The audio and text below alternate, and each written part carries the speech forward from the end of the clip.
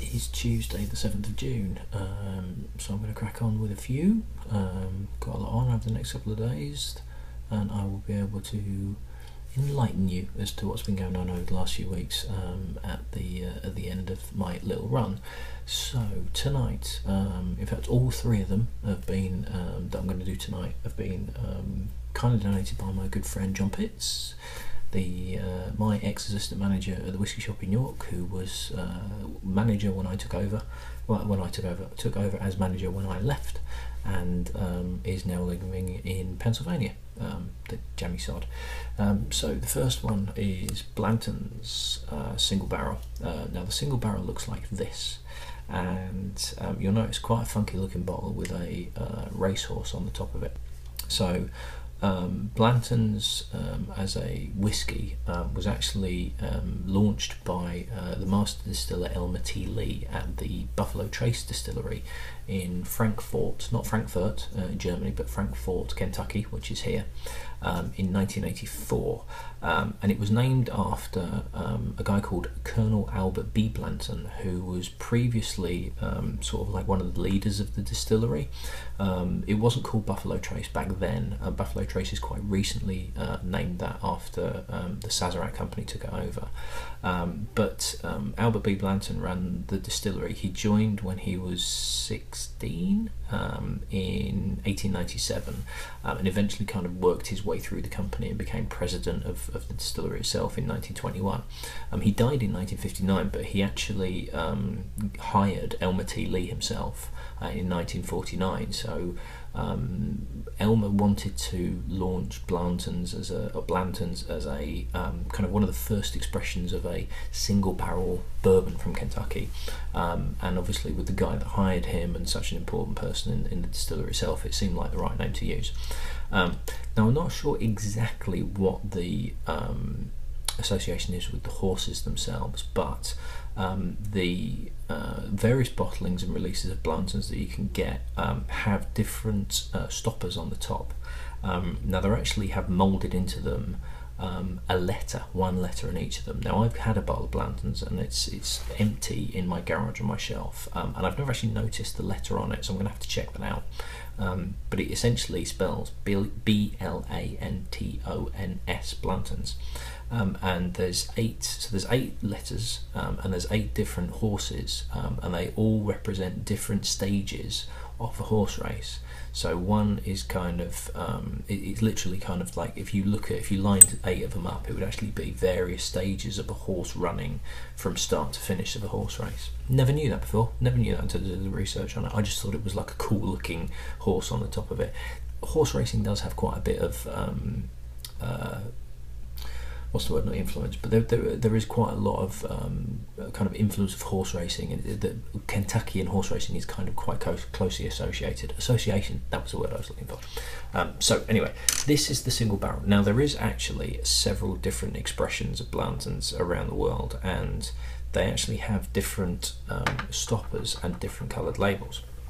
So once I've poured this I will tell you what they are. Now this is the single barrel which is 45.2%. So this is a essentially it's single barrels of bourbon that are released in very very small batches from each barrel. So I don't know what batch this is from. Um, this is matured in the only metal um, metal encased warehouse at the Buffalo Trace Distilleries, which actually makes the warehouse more humid, more hotter because the, the metal is retaining the heat inside of it.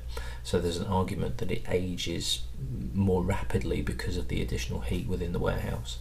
Um, it, but there is people out there, you know, if you go to some of these bourbon forums where they're like, um, right, I've got this batch of Blanton's, and somebody else will turn around and go, oh yeah, but it's not as good as this batch that I've got because they're handwritten labels that I've got it's this bottle from this batch from this rack and blah blah blah.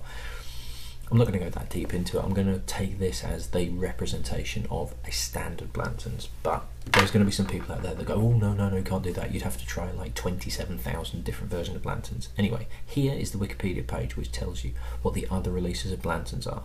So, Blanton's in the US is most commonly bottled with a beige label at 93 proof. Blanton's in Japan is most commonly bottled at 80 proof with a black label.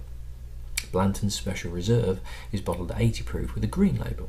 Blanton's Gold is bottled at 103 proof with funnily enough, a gold coloured label and stopper.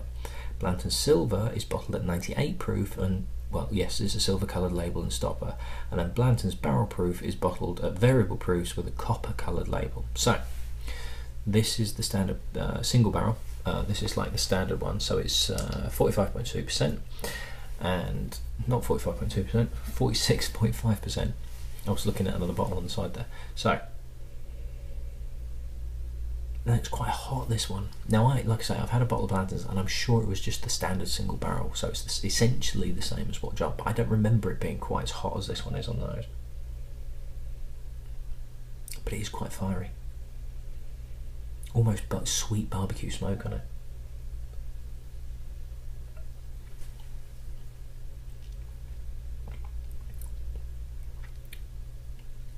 But not quite as fiery on the palate, not as hot as you would expect.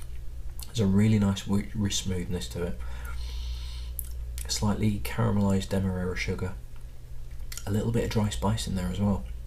Sort of a touch of cinnamon. But there's a almost a really, really soft paprika. Mmm. Yeah, there is a spiciness to it, but it's kind of like a, a really mild chili spice very, very, very mild. Don't get me wrong. This isn't like a, you know a vindaloo or anything like that. It's just a really, really mild paprika, um, like smoked paprika flavor uh, flavor to it.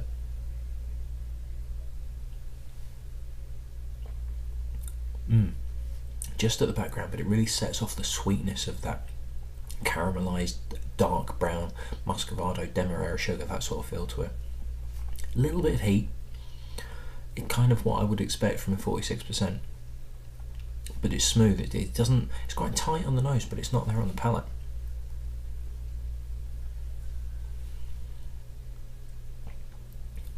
Mm.